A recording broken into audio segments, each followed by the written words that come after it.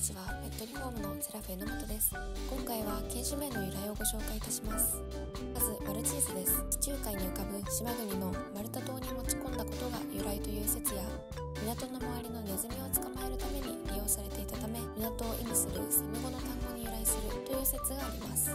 次にボーダーコリーです。原産地がイングランドとスコットランドの境界ボーダー付近であることに由来します。